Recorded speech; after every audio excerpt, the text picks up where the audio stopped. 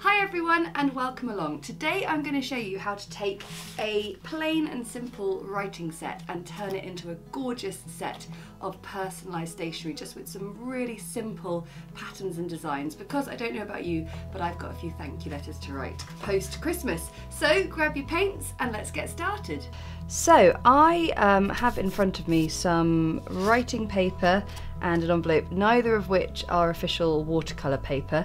They are um, about half the thickness of usual watercolour paper. This is about 140 GSM.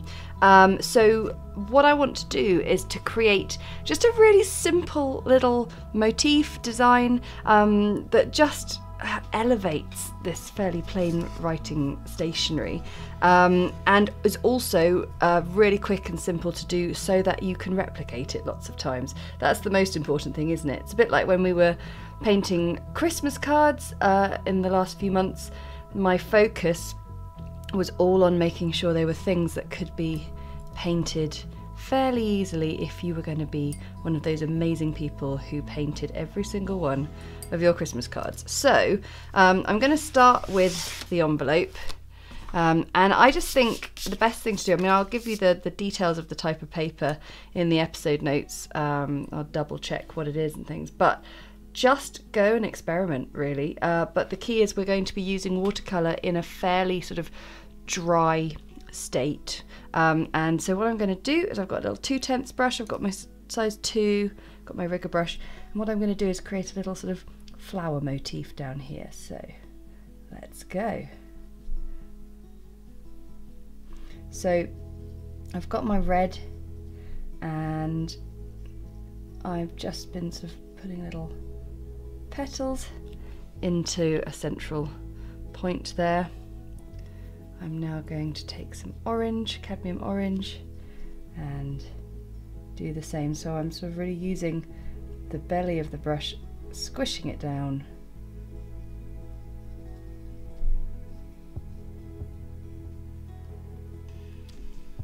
And then I'll just do a little sort of extra little bit there. So you can see that's gone on really nicely. It doesn't blend in quite the same seamless way as watercolour paper, but I'm really happy with that. And now I'm going to take some French ultramarine blue I've got here. Lovely contrast to the red and orange. And I've also got my cobalt blue deep as well, which is really nice. Well, maybe I'll... Yeah, I really like these kinds of blues when it comes to teaming them up with reds. And I'm going to just place in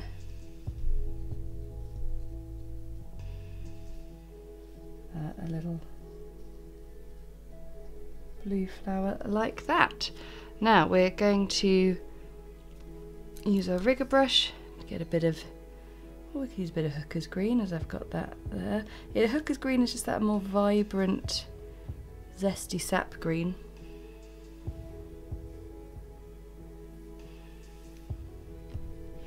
And just carefully I'm going to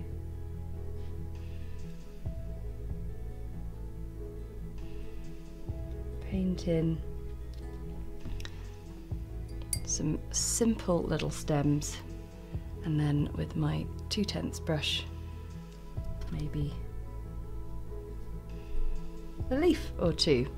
I'm going to leave that like that. Now that looks really pretty already but I can't help but want to do just a little bit more so I'm going to take the rigger brush and I am going to draw a line. How good is the rigger brush, by the way? Did you see how smoothly that went? Gosh. And take the rigger brush.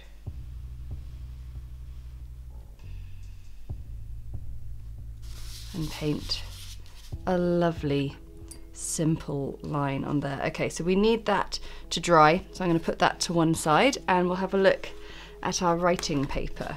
Um, so I'm going to do a little motif at the top, similar to what we did on the envelope. And again, like the paper can handle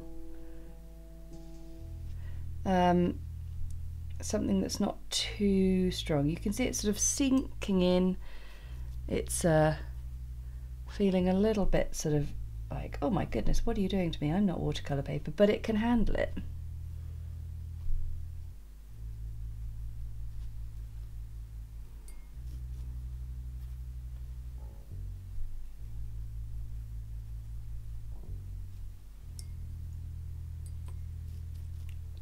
And I can sort of adapt the design a tiny bit, might sort of pop in a leaf.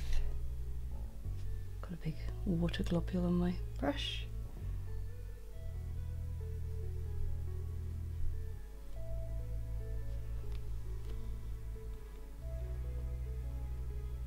And then I'm going to take the rigger brush once again with this lovely cadmium red and I'm going to paint in a border. Ooh, kind of a wobbly one, but I quite like that.